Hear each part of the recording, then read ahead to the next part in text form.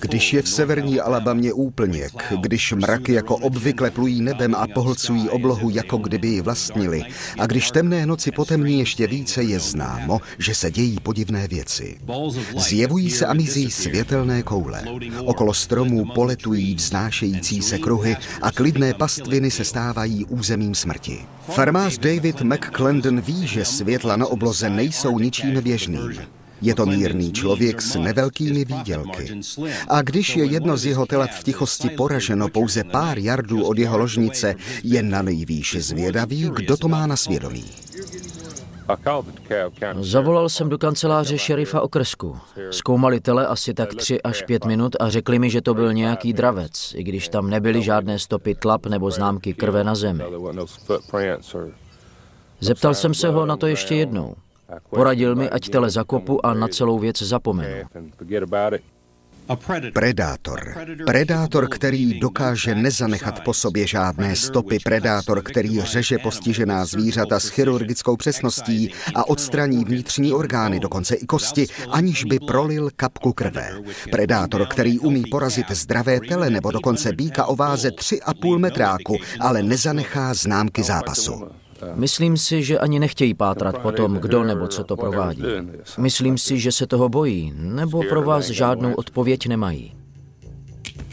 Kdo nebo co rozkrájelo tele Davida McClendona stejně jako desítky dalších zvířat jeho sousedů? Kdo nebo co vytvořilo tajuplné, ale nádherné obrazy v obilných polích po celém světě? Proč tisíce lidí vydává až děsivě identická svědectví o setkání s něčím cizím? Záhady UFO bývaly jednodušší, jen světla na obloze. Teď je vidíte, teď ne. V posledních letech je vše složitější. Zdá se, že se na naší planetě děje něco závažného, něco, co souvisí s přítomností mimozemšťanů na Zemi. A hledání důkazů o UFO nás tak dnes zavádí do stále bizarnějších sfér.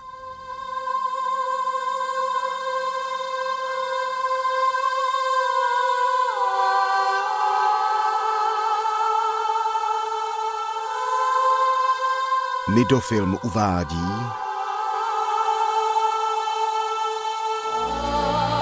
UFO nejlepší důkazy. Podivná setkání.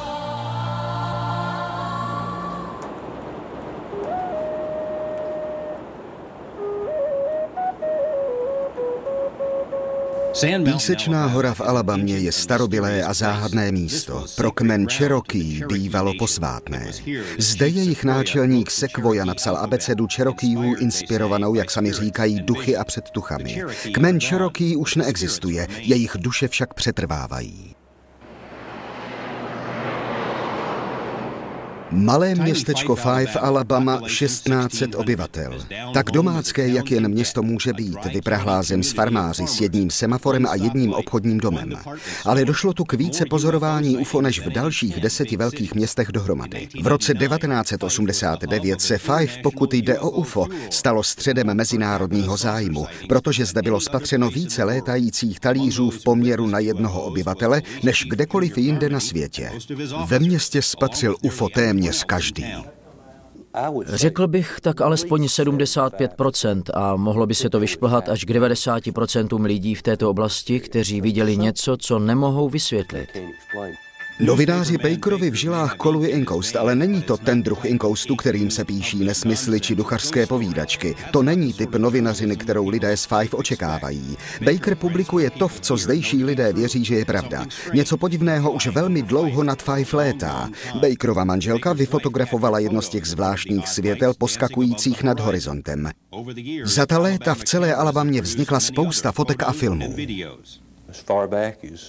Uh, Vzpomínky sahají do minulosti našich dědů.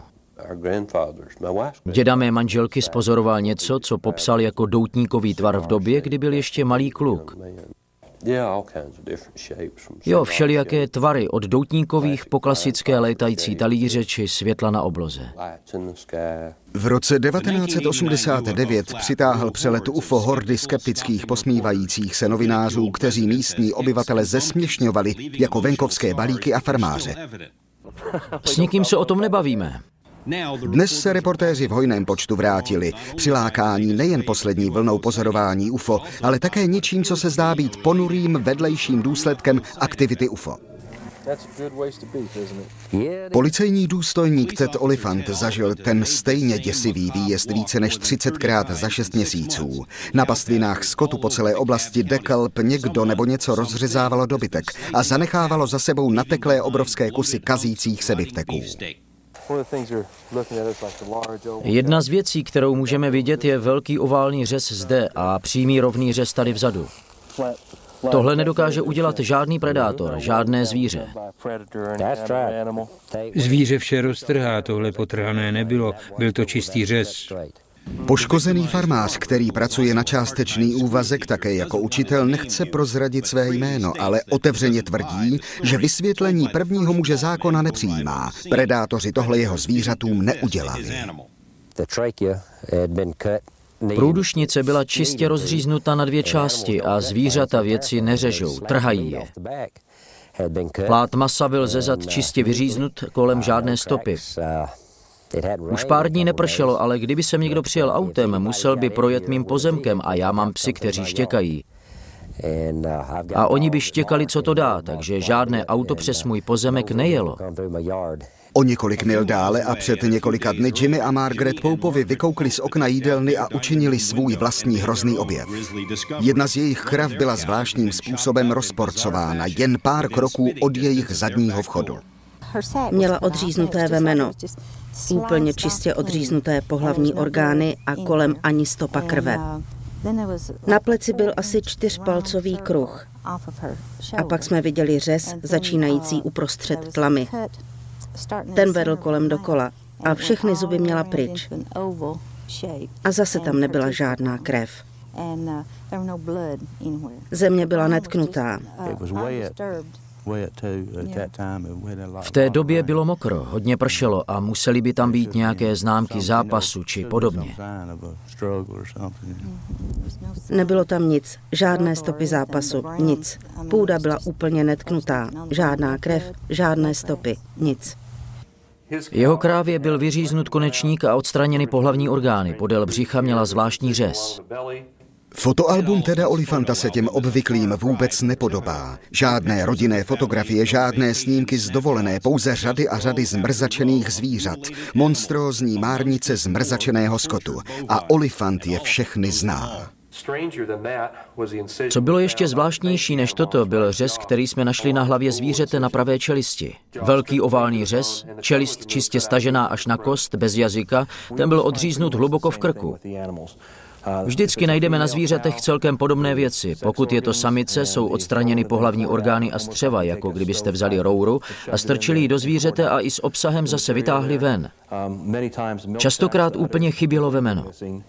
Čelisti byly staženy až na kůži, jazyky vyříznuty.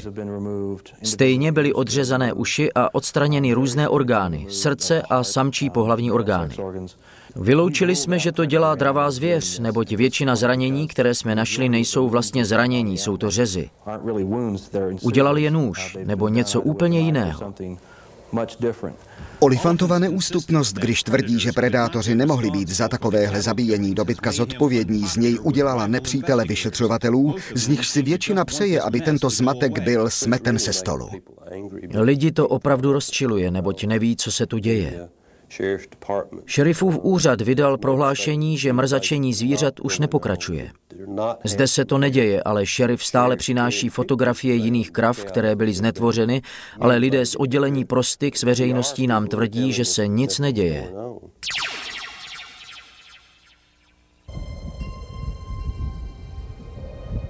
Když se slunce ponoří za obří kaktusy drsné pouště jižní Arizony, probouzí se tichá smrt a jde si hledat kořist. Nikdo nemůže říct, kolik zvířat bylo zabito, neboť většina z rančerů, hlavně těch indiánských, kteří žijí v rezervacích, se zdráhá o tom mluvit. Vím o pár králících, jelenovi a jednom koni, ale většinou jde o dobytek. Kde byla znetvořena nějaká domácí zvířata tím samým způsobem? Odpověď byla následující. Mohou za to očividně predátoři. Ve skutečnosti se predátoři takhle znetvořeného zvířete ani nedotknou.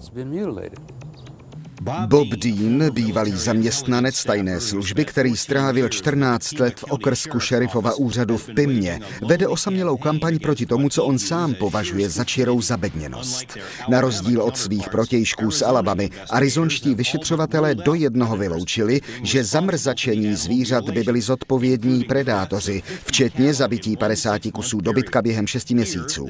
Ten, kdo mrzačil tady, není nikdo jiný než sám Satan nebo jeho učedníci. Skalpel ovládající Belzebuby odhodlaní získat části zvířat, aby je použili při nevyslovitelných obřadech.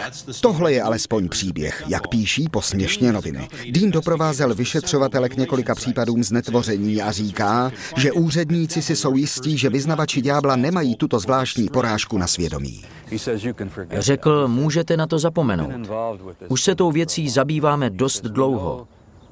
Známe satanisty. Ve skutečnosti víme, kdo jsou. Známe jejich způsob práce. Už je sledujeme. Můžu jít a hned vám tři nebo čtyři ukázat. V tomhle prsty nemají. Uvědomte si, že tohle zvíře váží tři a půl metráku.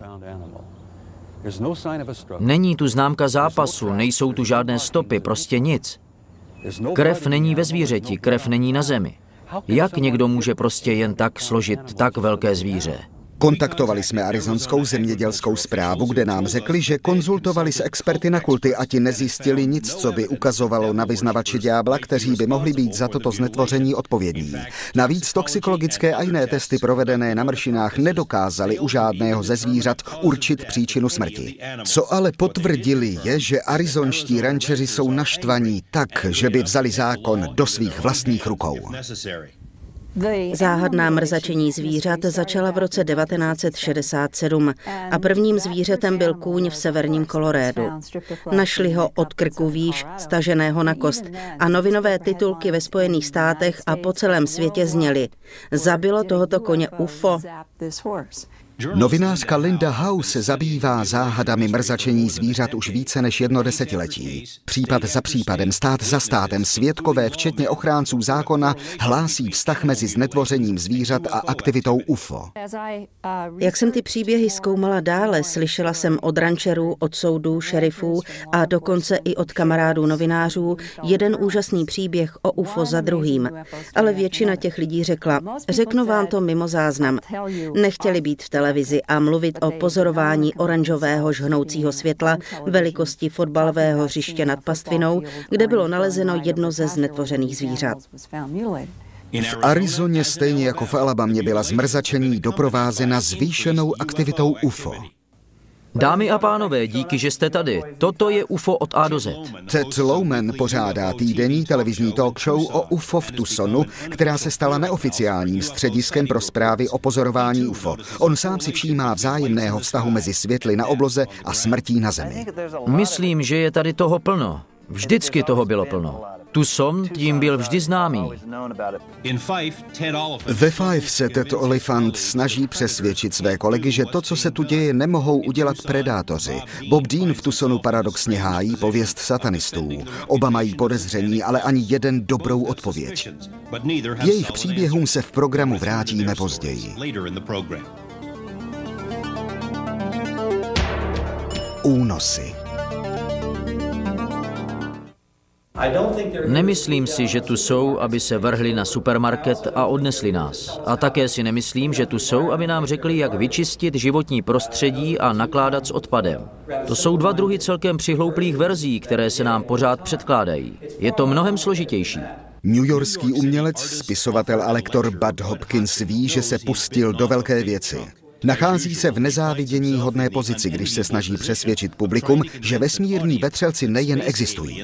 Co víc jsou tady, pravidelně a často navštěvují naše domovy a odnášejí lidi skrz okna či zdi do připravených vesmírných lodí, provádějí na nich invazivní a krutá lékařská vyšetření a pak oběti vracejí zpět do jejich postelí. Na tato nepředstavitelná setkání jim zůstane jen malá nebo vůbec žádná vzpomínka.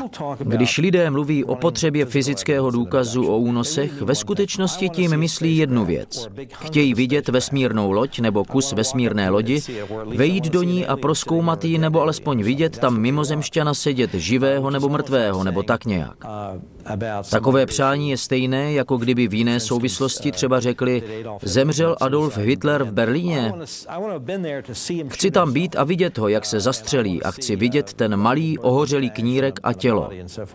Hopkins je na celém světě zdaleka nejzkušenější a nejznámější badatel v oblasti únosů do UFO. Guru únosů do UFO. Podle kritiků expert na prodej knih.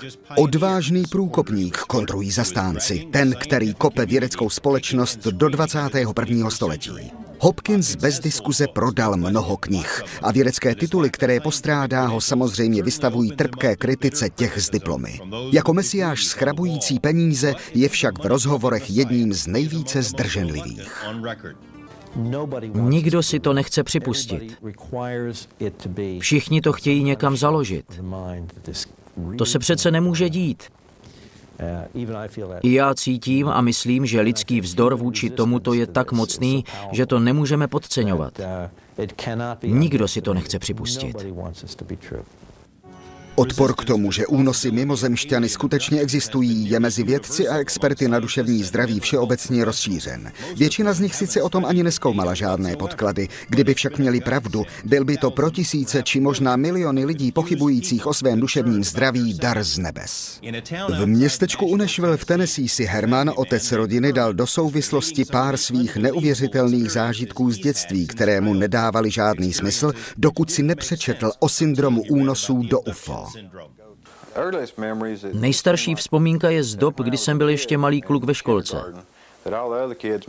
Ostatní děti se mi smáli, protože když seděli a kreslili obrázky aut, já kreslil obrázky vesmírných lodí a říkal jsem ostatním dětem a kamarádům, že v době, až já ve stáří zemřu, na Zemi budou žít lidé z jiných planet. Všichni dokola si země dělali srandu, měli mě zablázna. Po pár letech školy výsměchu jsem se uzavřel do sebe a už jsem o tom s nikým nemluvil. Ale v době, když mi bylo 13, se kolem začalo dít mnoho věcí. Poslední věc, co si pamatuji, je, že jsem běžel do světla, jasného světla zářícího na zem. A další věc, co si pamatuji, že stojím před domem svého otce, který byl tak míli daleko. Asi tak hodinu, hodinu a půl jsem ztratil pojem o čase. A když jsem se ráno probudil, všiml jsem si malých jízviček na obou rukou, které vypadaly, jako kdyby mi někdo po ruce přejel kráječem na pizzu a vyřízl kousky kůže. Když jsem vešla, stál tam takový malý muž, skoro přesně, kde jste zrovna vy. A na sobě měl takový stříbrný oblek. Myslím, že to bylo něco jako tmavě stříbrný oblek, možná našedlý. A ten muž měl opravdu velkou hlavu. Byl asi takhle velký. Nancy Andersonová z Las Vegas má vědomé vzpomínky na několik setkání s mimozemskými bytostmi. Má také další příznaky prozrazující zkušenosti s únosem, včetně období ztráty času, nevysvětlitelné jizvy, znaménka a vzpomínky na fyzický kontakt s hroznými tvory. Když jsem se probudila, ten šedý ležel přes moje kolena. Byla jsem vyděšená jako nikdy v životě. Zkusila jsem se pohnout či zakřičet, ale nemohla jsem. Chtěla jsem s ním zápasit, ale nic nefungovalo. Byla jsem paralizovaná. Nebyl těžký, vážil snad takových 20 kilo. Elke Emmonsová si na to, co se jí stalo, vzpomenout nemůže. Vše, co ví, je, že viděla, jak za jejím domem v Michiganu přistává UFO. Zbytek je prázdno. Postupně to sestupovalo na pole. V tom okamžiku jsem spanikařila. Zhasla světla Šla nahoru a schovala se v rohu ložnice. A jak jsem vám už řekla, seděla jsem tam ne déle než minutu či dvě. A pak jsem se vzbudila až ráno. Očividně jsem ztratila pojem o čase. Nevěděla jsem, jak jsem se dostala do postele a vůbec jsem si tu noc nepamatovala. Ztracený čas je výraz zavedený Badem Hopkinsem, aby popsal výpadky paměti zmiňované třemi čtvrtinami údajně unesených. Je to jeden ze společných jmenovatelů uváděný tolika lidmi po celém světě. Lidmi, kteří se navzájem neznají a podobností svých příběhů nemají co získat. Škála je obrovská. Zažil jsem strážníky, kteří byli uneseni a kteří za mnou přišli. Ženy v domácnosti. Měl jsem dvě známé osobnosti, které dělají v showbiznisu a které byly uneseny. Jak už jsem zmínil, byli to i psychiatři, psychologové, doktoři, sestřičky, právníci, opravdový plukovník v důležitém úřadu. Nedávno za mnou přišla armáda ohledně jeho zážitku. Je to jev táhnoucí se přes celou společnost. Dostává se do každé socioekonomické sféry. Jediné, co mají tito lidé společné, jsou střípky neuvěřitelných setkání a jejich touha pochopit. Z větší části se jim nedostalo moc pomoci z vědeckých či psychologických profesí. Kritici jako Carl Sagan odmítli zprávy o únosech jako halucinace, fantazie, poplašné zprávy nebo jako důsledky psychiatrických traumat z dětství vyvolaných sexuálním zneužíváním. Tato vysvětlení mají ale jeden problém. Žádné z nich nekoresponduje s fakty. Kliše. Dobrá, tak to by to bagatelizoval psychiatr, ale sami psychiatři říkají, nechceme to zamluvit. Naopak, je to mimořádně zajímavé a důležité. A já si myslím, že kousek po kousíčku si čím dál tím víc lidí, jak přichází do kontaktu s tímto materiálem, začíná uvědomovat, že teď čelí něčemu, co může být nejzlomovější událostí v lidské historii. Získat uznání a pomoc z řad vědců a lékařů by byl opravdu náročný úkol, ale změna visí ve vzduchu. O tom více za pár minut. Kruhy v obilí. Povězte mi prosím něco o tom vašem únosu. Pokud je diskusní stanice poslední baštou přímé demokracie, tak co se nám to tu snaží lidé o UFO říct? Národně združení moderátoři, jako třeba Billy Goodman, ví, že základem je téma UFO ve všech svých podobách. Diskutují ho, otevírají každý večer, rok za rokem. Zatímco jiná média nemohou či nechtějí na toto téma diskutovat. Diskusní stanice se mu přímo oddávají. Mohu se zeptat, jaké bylo vaše setkání? Několik objektů ve tvaru disku přeletělo přes můj dům. Zastavili se a pak se pohybovali různým směrem. Jen vznášející se talíře jsou dnes už nějak pasé. Rádia, televize, bulvár a populární knihy se už k tomuto tématu nesčetněkrát vyjádřili, ale zdá se, jako kdyby tento fenomén sám chtěl přispět ke své popularitě. Ve 40. a 50. letech bylo UFO ne více než pouhé nepolapitelné světlo na obloze, oblíbená zajímavost. Toto je například některými považováno za fotografii UFO moderní éry pořízené v roce 1947 nad Cítlem. V 60. letech začala světla přistávat. Důvěryhodní svědkové, jako například policejní důstojník z Nového Mexika, Loní Zamora, riskovali svou pověst tím, že ohlásili to, co viděli. Od té doby bylo zdokumentováno několik pozorování přistávání stání UFO. V 60. letech také získali na důležitosti první případy údajných únosů mimozemšťany. Životy Betty a Barneyho Hillových byly jejich zdánlivě nedůvěryhodnou zprávou obráceny úplně na ruby. Určitě nebyli první a dozajista nebyli poslední. V 70. letech vyplulo na povrch velké množství zpráv o únosech mimozemšťany společně se stejně bizarním jevem mrzačení zvířat, dočasně soustředěným na americkém západě a také nevysvětlitelné tvary v obilí v Británii. Británii. Podobné útvary se objevily v ledu zamrzlých jezer v Rusku. To vše bylo vědci a svědky dáváno do souvislostí s pozorováním UFO. 80. a 90. léta znovu zažila vzplanutí diskuzí. Zprávy o únosech se stupňovaly. Zmrzačení se vyskytovala po celém světě a útvary v obilí, objevené na každém kontinentě, se proměnily z jednoduchých kruhů do propracovaných vzorů, jako kdyby nám tím někdo něco chtěl říct. Někteří si to myslí, ale jiní namítnou odmítnou. Pokud se snaží s námi mluvit, nedělají to dobře. Dudley byl vtažen do výzkumu útvaru v obilí, když ho někdo požádal, aby se podíval na vzorky půdy z jednoho anglického pole. Našli jsme něco jako položivoucí prvky, které mohly být vyprodukovány pouze vysokoenergetickou fyzikou. Tyto prvky nenajdete v nemocničním odpadu nebo z nukleárního reaktoru. Najdete je, pokud budete půdu bombardovat vysokoenergetickými protony nebo deuterony. Dudley společně s množstvím dalších vědců a výzkumníků dorazil do Anglie uprostřed sezóny kruhů v obilí, ačkoliv výraz kruh není přesný pro tvary vyobrazené neznámými umělci. V okamžiku, kdy pozorovatelé chvástavě oznámili, že přišli na systém formací, pravidla se změnila, jako kdyby někdo naslouchal. Všechno nasvědčuje tomu, že zatím stojí vyšší inteligence. Je tu spousta dalších věcí, například různé velikosti kruhů odpovídají hudebním diatonickým stupnicím. Taková posloupnost se v přírodě vůbec nikde neobjevuje, jenom v uměle vymyšlených stupnicích. Některé útvary byly bez diskuze falešné. Dva angličtí hospočtí povaleči Duck a Dave oslovili média a tvrdili, že mají zásluhu na vytvoření všech anglických útvarů. Těžko uvěřitelné tvrzení s ohledem na velký počet, rozměry a složitost některých vzorů, z nichž se mnoho objevilo v jiných zemích. Novináři na to samozřejmě skočili. Následná soutěž o peněžitou cenu vyprovokovala horlivé zápolení skruhy v obilí, což bylo pro média to pravé. Pokud některé piktografy mohou mohou být sfalšovány, pak jsou všechny falsifikátem. To byl a stále je převažující argument médií, který připomíná tvrzení. Pokud mohou být padělané některé 20 dolarovky, pak musí být falešné všechny dvacky. Ta pšenice se sama plazí v opravdových kruzích, vytvořených nějakou energetickou silou. Pšeničné stvoly jsou ohnuty v pravých úhlech. Nejsou vůbec poškozeny. Stále rostou a vypadá to, jako kdyby nějaké silové energetické pole padalo na pšeničné klasy, aby vytvořilo tyto velmi komplikované symboly. Je to jako práce vesmírného umělce. Doktor O'Leary a další vědci odmítají připustit jednoduché vysvětlení, neboť mnoho zřejmých důkazů poukazuje na něco jiného. Když útvary byly pouhé kruhy, pár vědců tvrdilo, že byly vytvořeny vzdušnými víry, mini tornády. Jiní teoretizovali o tom, že nočními umělci jsou pobíhající ježci. Těmto vysvětlením došel dech, když se tento jev vyvinul ze zajímavých kruhů do obrovských záhadných piktografů.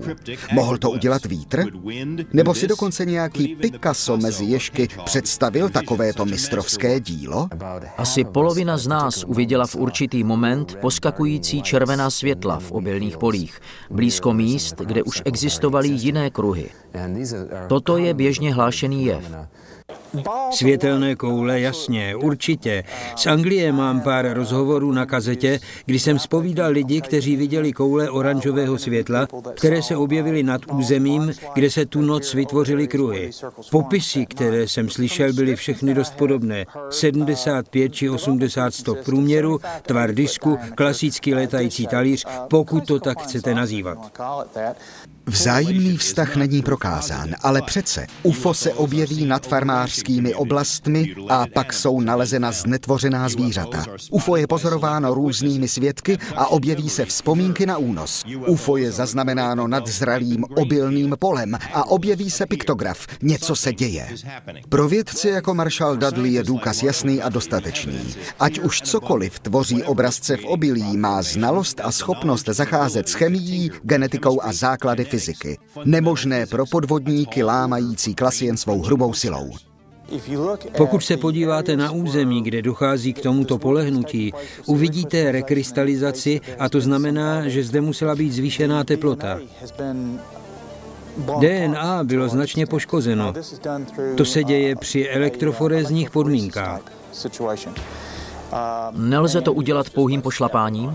Ne, se šlápnutím to nejde. A další věc je, že pokud byste chtěli semena naklíčit, našli byste mnoho mutací, které mají souvislost s poškozením DNA. Útvary vytvořené v obilí jsou jen jedním projevem vyššího stupně. Pozorování, přistání, únosy, zmrzačení, zprávy, Snaží se nám někdo něco říci? Pokud ano, co to je? Došlo k uznání možnosti, že ve vesmíru naprosto nejsme nejvyspělejší. Že existují civilizace, které jsou daleko větší než je naše a že sám vesmír je inteligentní. To je změna našeho vnímání vesmíru a sebe sama. To je mnohem radikálnější změna v myšlení než jakýkoliv jiný posun, který si vybavuji. A je děsivá. Vyrůstali jsme s myšlenkou, že jsme sami.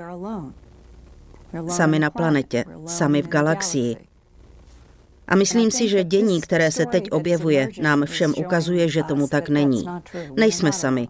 Jsou tu mimozemské formy života, které sem přicházejí. Zajímají se o zvířecí život, rostliny a o nás, lidskou rasu. Zpět k mrtvému dobytku.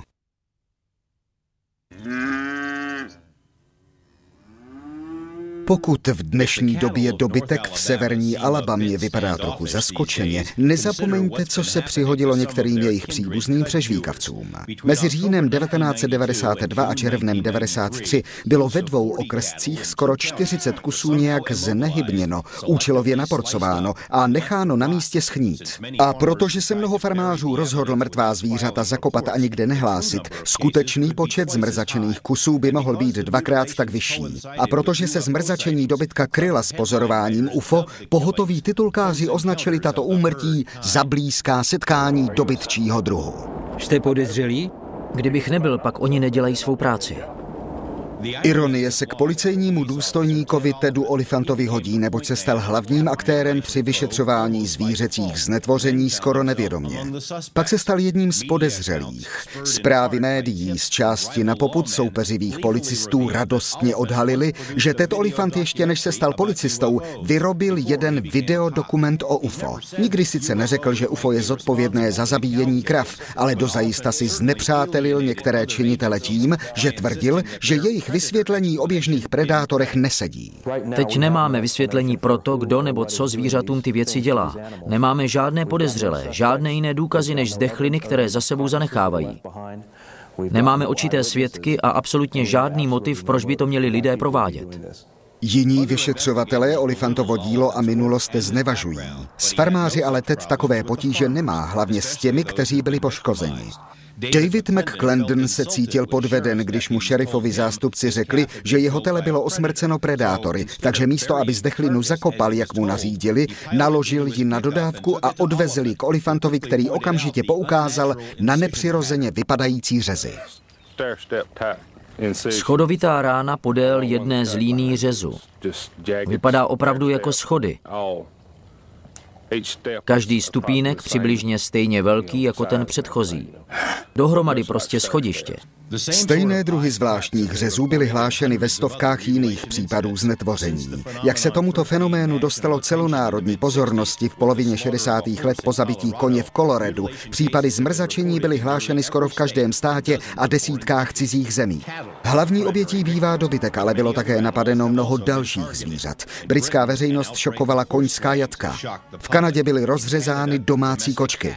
Takzvaná schodovitá jizva Davida McClendna, známá také jako řez vykrajovátkem nebo zubatými nůžkami, se stala známou pro vyšetřovatele po celé zemi. Řezy, které byly vedeny po nohách na vnitřní straně a po břiše, vypadaly asi tak, jako kdybyste vzali zip a krávu znovu zapnuli. Byly to řezy s 12,5 mm nerovným okrajem. Zvíře jsme rozřízli a zjistili, že chybí ramení kloup. Byl pryč jen v tom jednom rameni, výjimutý jedním rovným vnitřním řezem. V mnoha jiných případech použili přízrační chirurgové skalpely a v jiných se spolehli na něco připomínající laser. Tkáň byla spálená, vystavena velkému žáru a krev spečená. Byly tam buněčné změny, které se vyskytnou při 150-180 stupních. Od roku 1989 máme více než 10 případů zvířat, které spadají do kategorie zvířecího znetvoření a kde byly k vyříznutí použity vysoké teploty. To jakékoliv predátory automaticky vylučuje. Ještě mrazivější v tomto množství případů ale zůstává, že zabijáci dokázali řezat mezi buňkami zvířecí tkáně. Některé z řezů, ať už používají jakýkoliv způsob, možná laser, prochází doslova mezi buňkami. My nyní ani nemáme technologii, o které vím, že by toto dokázala. Pokud my takovou technologii nemáme, kdo tedy?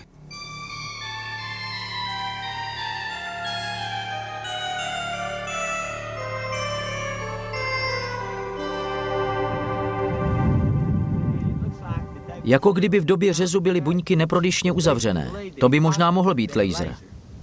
Skličující zážitek z nalezení krávy v takovém stavu podnítil alabamské rančery, aby se ozbrojili. Napětí zvyšovalo pozorování neoznačených helikoptér před a po znetvoření dobytka. David McClendon viděl jeden ze záhadných vrtulníků vznášet se nad jeho pozemkem po smrti telete. Byli jsme doma už hodinu předtím, než se to stalo, takže jsme viděli, kdy přesně přiletěl. Popadl jste pušku, myslím tedy, co byste udělal? Střílel bych. Nevěřím nikomu, že tu má co dělat. Natož přilétat v helikoptéře nad mými pastvinami. Mnoho lidí slyší jakoby helikoptéry v blízkosti drátů vysokého napětí a to je odsud tak 70 metrů. Stejně bych teď zastavil kohokoliv, kdo by letěl přes můj pozemek helikoptérou a přistál. Nenechal bych ho vzlétnout, aniž bych volal policii. Souvislost mezi neznámými vrtulníky a obdobím mrzačení po celé zemi celá léta zkoumají nezávislí vyšetřovatelé jako Tom Adams z Texasu a dokonce americký senát. Nikdo neví, odkud se helikoptéry berou nebo kdo je pilotuje. Ted Olifant podezřívá ty neznámé, že také sledují případy znetvoření, jak to dělá on. Kdo jsou opravdu nevím, ale v mnoha případech byli na zemi před i poté, co lidé zmrzačení dobytka objevili. V některých případech to vypadá, že se s vrtulníky předháníme, kdo u zdechlin bude dříve. Na jaře roku 1993 se konkurenční vyšetřovatelé pokusili situaci ututlat tak, že rančerům přikázali mlčet. Olifant odpověděl svoláním tiskové konference první v historii Five. Tváří v tvář šikům novinářů představil poškozené farmáře jednoho po druhém těm, kteří nevěřili historce o predátorech. Je to celkem velká facka daňovému poplatníkovi, když nahlásíte něco takového strážcům zákona. Oni přijdou, obejdou zvíře a řeknou, no to udělal predátor, což já rozpoznám mnohem líp. Olifant také vydal dvě nezávislé laboratorní zprávy. Jedna přinesla důkaz, že k rozřezání jedné krávy byl použit vysokoteplotní nástroj. Další analyzovala zvláštní bílý chemický nález ze zdechliny, umělou sloučeninu, která by mohla sloužit jako vypalující činidlo. Státní a místní vyšetřovatelé konferenci naslouchali, ale svou hypotézu o predátorech obhajovat odmítli. Opravdu to nemůžu komentovat. V Alabamě stejně jako všude nebyl nikdo schopen tento oříšek rozlousknout. Mezi podezřelé patřili vojáci, velký průmysl a televize, stejně jako kulty a predátoři. Důkazy naznačují, že ať už je zatím kdokoliv v Alabamě či po celém světě, je velmi mazaný. Mluvíme o desítkách tisíc případů, u nás i po celém světě. Nikdo zatím nebyl zatčen, nikdo zatím nebyl žalován. Vůči nikomu nebyla vznesena obžaloba, nikdo nebyl chycen. Novinářka Linda Hau tvrdí, že musíme sledovat důkazy, ať už vedou kamkoliv. Vztah mezi zmrzačením a UFO je nespochybnitelný, kde je jedno, je i druhé. Navíc existuje jen málo svědků, kteří viděli znetvoření na vlastní oči. Jejich popisy popírají veškerou logiku. Musíte se podívat, kam za 25 let došlo svědectví lidí. Očití svědkové říkají, že viděli malé šedé tvory s velkýma černýma očima, nesoucí zmrzačené zvíře nebo beroucí zvíře do nějakého druhu lodě. To jsou žně mimozemšťanů. Myslím, že dojdeme k závěru, že se jedná o extrémně vyspělou technologii, která je daleko za hranicí našich možností. Jediná odpověď, se kterou můžu přijít, je, že v tom mají prsty mimozemšťané a někteří z očitých svědků tento názor podpořili. Viděli záhadné lodě, viděli záhadné nelidské bytosti. Jedna znepokojující poznámka k mrzačení, jmenovitě ke genetické podobnosti dobytka a lidí na závěr. Lidé a dobytek mají skoro identické chromozomy. Navíc dobytčí krev je skoro jako naše, takže je používána k výrobě lidské plazmy. Zde vyvstávají děsivé možnosti, že ten, kdo krávy porcuje, je zkoumá, aby se dozvěděl něco o nás. Únosy brané vážně.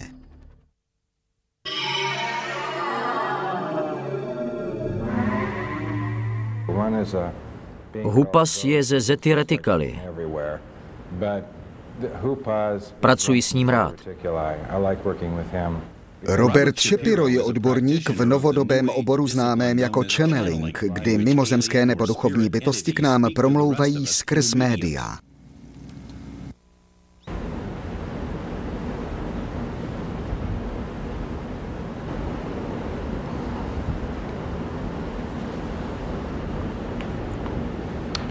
Dobrá. Hupas hovoří. Odpovím na otázky. Většina lidí, hlavně vědci, nedávají channelingu mnoho důvěry. Každý, kdo normálně mluví s mimozemšťany, musí mít problém. Stejné to bylo v 50. letech s prvními takzvaně kontaktovanými lidmi jako George Adamsky, který tvrdil, že plul na lodi s Venušany. Pro vědeckou veřejnost je toto jeden velký balík klamných tvrzení, který obsahuje novodobé zprávy o únosech, které rozdělují i lidi okolo UFO. Jsou lidé, kteří budou přísahat na stoch Biblí, že je to pravda. No já nevím, zda to pravda je či ne, ale důkazy toto podporující jsou velmi chabé. Můj problém s celou věcí okolo únosů je, že jsou zkoumány hypnózou, často používanou lidmi, kteří na to nejsou vyškolení. Na 25 až 35% všech případů únosů do UFO si lidé vzpomenou bez hypnózy. A nějaký útržek vzpomínky na únos se jim bez hypnózy vybaví téměř vždy. Hopkins více než kdokoliv jiný riskoval vše, včetně osobního života a zdraví, jen proto, aby přesvědčil svět, aby se probudil a povšiml si zpráv o únosech do UFO. Zdá se nakonec, že se jeho snaha vyplácí. To, proč je vnímání fenoménu únosů do UFO tak silné, je, že k ním dochází tam, kde žijeme. Vstupuje do našeho reálného světa. Zdá se, že je v reálném světě, ale jen co nás to v reálném světě najde, hned nás to z něj vytrhne. Je to jako ušité na míru k rozbití arrogantního pohledu západního světa. Harvardský psychiatr John Mack si za svůj zájem o únosy vysloužil od svých kolegů velkou nevoli, ale nenechal se odradit. Vidí, že mnoho vědců prostě odmítá uvěřit, že únosy do UFO jsou pravdou, ať je jakákoliv. Je tu obrovské množství jasných důkazů toho, co se při únosech do UFO děje. Ale musíte je chtít vidět. Každý by chtěl, jak řekl jeden vědec z Harvardu, mít zapalovač, který vypadl z UFO. Ale co když nic takového neexistuje? Třeba už nehoří sta tisíce let. Ale my chceme ten zapalovač. Ve skutečnosti je to jen naše mysl, která nás může posunout někam dál. Vstup doktora Meka do debaty o únosech vědcům znemožnila téma odložit, aniž by se nejdříve podívali na údaje. Ti vědci, kteří si je prostudují, jsou často překvapeni škálou a podobností vyprávění o únosech. Kolem mě byly bytosti. Byly malé, ale dost podsadité a těžké. Bylo jich tam tak čtyři, pět. A zatímco já jsem ležela na stole, byly velmi zaneprázdněné různými činnostmi. Mary měla za celý svůj život podobné zážitky, stejně jako členové její rodiny, v čemž spočívá hlavní šablona scénářů únosů. Začíná v dětství, trvá desetiletí a zdá se, že pronásleduje celé rodiny. Vzpomínám si pouze na modřiny a tak. Vždycky jsem se probudila svědomím, že jsem někde byla, ale nevěděla jsem kde. Ale pamatuji si, že jsem viděla létající talíře.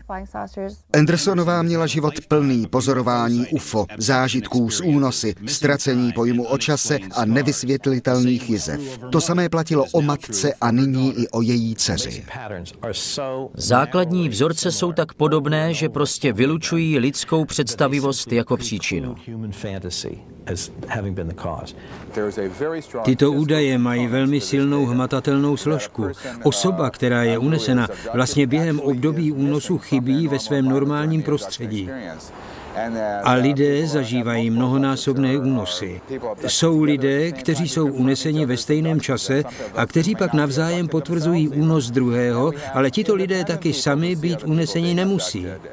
A máme nezávislé osoby, které vidí únosy jiných lidí a také jizvy na tělech a další jiné věci. Každá teorie vysvětlující tento jev musí brát v úvahu fyzický aspekt. Proto neexistuje konkurenční teorie, co se vlastně těmto lidem děje. Doktor Jacques Valley zprávy o únosech spochybňuje, neboť byly vyvolány hypnózou, ale osobně viděl fyzickou stránku setkání s mimozemšťany. Má to vliv na kůži, popisují pocity horka a také, že je přišpendlil paprsek a posouval je. Neumíme vytvořit paprsek, který by toto uměl. Sociální pracovník, psychiatr John Carpenter je další profesionál, který se odvážil podívat na únosy vážně. Člověk se na to nechce dívat, není to zábavná zkušenost. Jeden z jeho případů zahrnuje farmářskou rodinu z Nevady, jejíž členové prožívali nezvyklá setkání už po mnoho let. Přišel k mému rameni hubený a tmavooký. Jakou barvu vlasů? Bez vlasů. Zlověstné oči? Studené, jako u zubaře. A co vypadalo jako u zubaře? Vše vystupovalo ze stěn. Hadice. Nemám to tam ráda. Víte, kolik je vám let? 14. 14. Susan má důvod si být tak jistá svým tehdejším věkem. Protože vstoupili mezi moje nohy a to nikdo nemohl udělat. Nikdo to předtím neudělal? Ne. Ale když jste se nemohla hýbat, jak se jim to povedlo? Roztáhli mi je. Nemám nejmenší pochybnosti. Určitý jev se tu objevuje. Nějaký druh zasahování, vměšování jiných bytostí. Ať už je to dimenzionální či mimozemské. Tyto lidi k sobě nic nepoutá, kromě úžasných zpráv, se kterými přicházejí.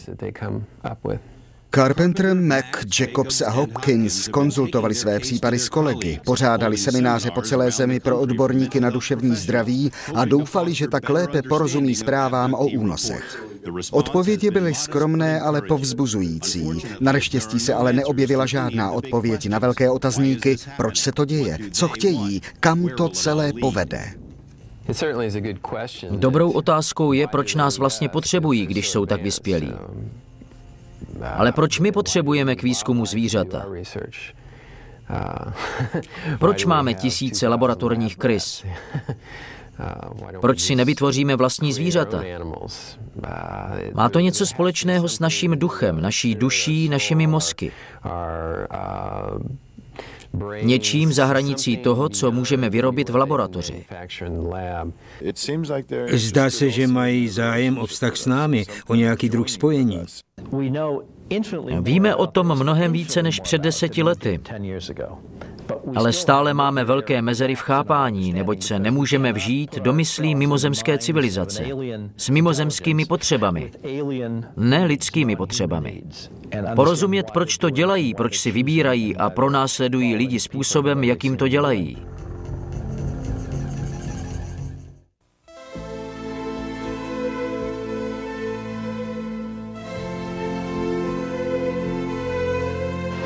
Kdo z nás neslyšel kliše?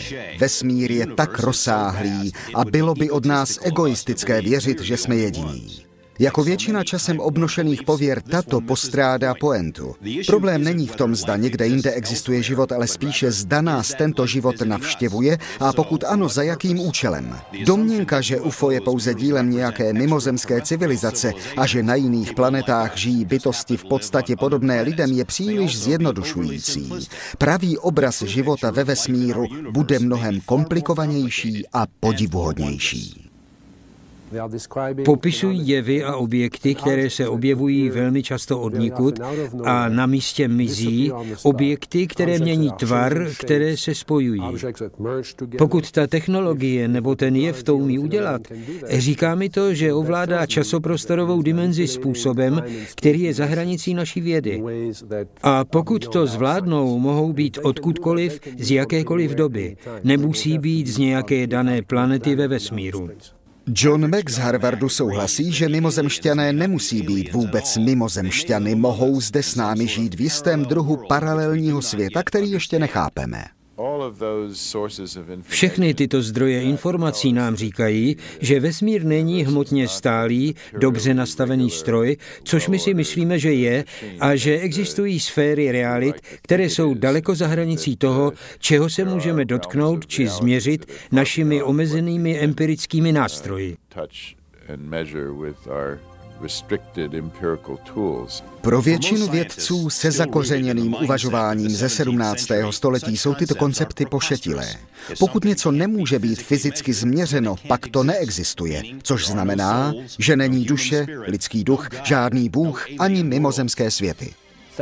Boeingy 747 denně létají nad pustou Austrálií a aboriginci se dívají nahoru. Žádný z nich nemá v ruce kus letadla, ale ví, co vidí. Ty věci tam jsou a důkazy jsou jasné. Důkaz je cokoliv, co nás přesvědčuje, že něco je pravda. K tématu UFO existuje tolik důkazů, že se něco děje, ale žádný z nich nic neznamená pro osobu, která prostě odmítá pořádně se podívat. UFO už je tu velmi dlouhou dobu. Miliony lidí je pozoruje už celá tisíciletí. Po staletí jsou zachycována v rytinách a kresbách. Dnes jsou na fotkách, videích a radarových snímcích. UFO může ovlivnit a ovlivňuje naše auto auta, letadla a jiné stroje. Byly zaznamenány tisíce stop jeho přistání. Půda byla spečená, spálená, zamořená. Po celém světě se přes noc objevují záhadné útvary v obilí se změněnou genetickou strukturou. Lidé, kteří se setkávají s mimozemšťany, jsou vzati ze svých domovů, proskoumáni, jsou jim pozměněny vzpomínky a často si odnášejí značky, jizvy a jiné fyzické následky. Zvířata jsou zabíjena neviditelnou silou a z neznámého důvodu. Vlády na celém světě vlastní tajné spisy, které jasně říkají, že UFO existuje a je zde. Pokud je někdo jednoduše neochotný zvážit možnost jiných žijících forem, pak o tom nebude nikdo moc přemýšlet. Ale pro ty s otevřenou myslí je zde důkaz hoden sledování. Myslím si, že v tomto okamžiku to je řešitelný problém. Jsme už připraveni zodpovědět zásadní otázky. Po půl století studia tohoto tématu se nacházíme v pozici vyřešení této záhady. Pokud sem přichází nějaký druh mimozemské formy života a dělá toto, pak proč? Je povinností každého z nás se snažit pochopit více a pochopit proč a možná i požádat o nějaké vysvětlení naše vlády, které tak mlčí. Ti, kteří se rozhodnou věnovat studiu tohoto jevu, častokrát platí vysokou daň. Práce Bada Hopkinse ho stála manželství a zdraví. John Mack čelil opovržením a výsměchu svých kolegů. Brian O'Leary byl zavržen svými bývalými kamarády ze světa astronautů. Linda Howe a jiní byli špehováni vládními agenty. Ted Olifant musel opustit práci policisty a z Alabamy odešel. Cena může být vysoká, ale odměna také, když se budeme snažit pochopit vesmír, který je mnohem záhadnější, než jsme si vůbec představovali. Máme co dočinění s mimozemskými bytostmi. Máme co dočinění s meziprostorovými bytostmi. Máme co dočinění s jevy, které vstupují a vystupují z naší fyzické reality a jsou akorát na okraji naší fyzické reality. Máme co dočinění s technikou, ve které je mysl nadřazená hmotě. Zmrzačená zvířata jsou skutečná a nahlášená. Stalo se to. Dochází k únosům lidí. I ty jsou hlášeny. Dnes sedíme na křižovatce, kdy vstupujeme do nového století, ve kterém, jak pevně věřím, bude následovat kontakt s těmi tam někde.